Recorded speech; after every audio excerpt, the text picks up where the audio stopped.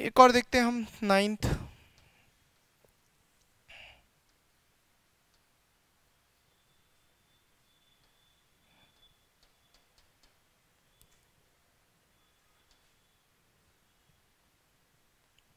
क्यों भाई? ऐसा क्यों?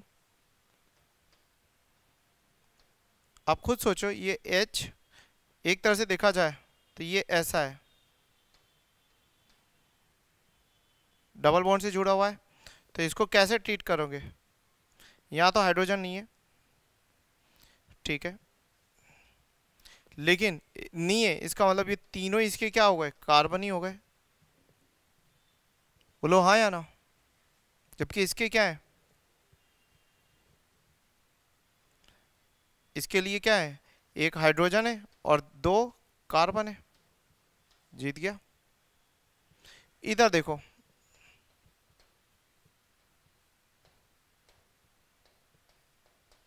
अब क्या होगा?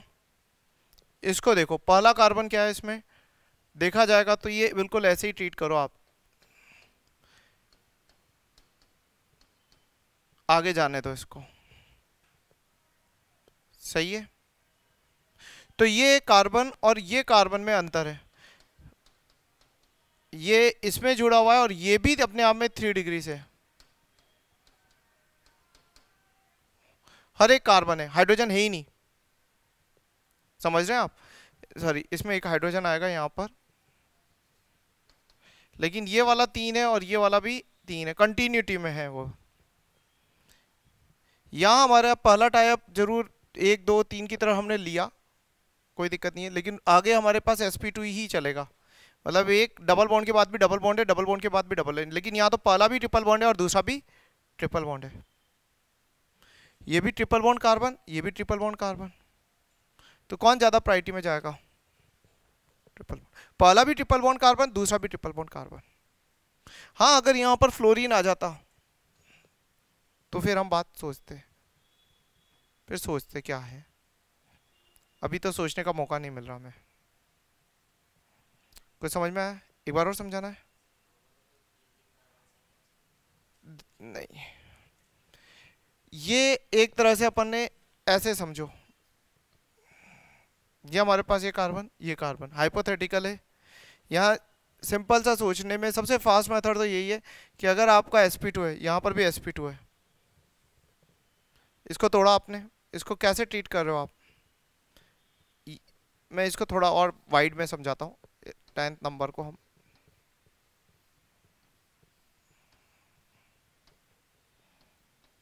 पहला कार्बन आ रहा है। ये वाला आपने तोड़ा। ये तो है ही कार्बन इसको ट्रीट करेंगे ऐसे और फिर उसके बाद ये कार्बन जाएगा। ये कार्बन और ये कंटिन्यू ऐसे चलेगा। फिर उसके बाद इसमें हाइड्रोजन है। और फिर क्या है हमारे लिए एक तरह से देखा जाए, फिर कार्बन है और बाद में फिर ये कार्बन जाएगा। और यहाँ हमारे लिए हाइड्रोजन आएगा। आएगा ही एक ये वाला टूटा इसके पास भी कार्बन जाएगा और एक हाइड्रोजन जाएगा। तो एक मिनट, ये हमारे पास जो कार्बन है, एक, दो, तीन कार्बन, एक, दो, तीन और फिर हाइड्रोजन जा रहा है। अभी देखते हैं अपन। इसके अंदर क्या हो रहा है? ये ऐसे जा रहा है। इसके लिए हमारे पास ये कार्बन हो गया हमारा। ये हमने तोड़ा, ये टूट गया। आगे कुछ भी नहीं जा रहा। सही है। अब उसके बाद क्या हो रहा है इसके अंदर?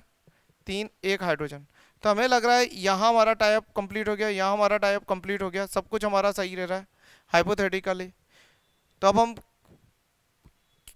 उसको प्रायोरिटी दे रहे हैं जो अपने आप में तीन कार्बन से जुड़ा है और अपने आप में डायरेक्ट ही जुड़ा हुआ है. उसको प्रायोरिटी जा रही है एस पी करेक्टर के थ्रू बस. क्योंकि यहाँ से ज़्यादा वो आगे तो आप ले जा ही नहीं पा रहे उसको.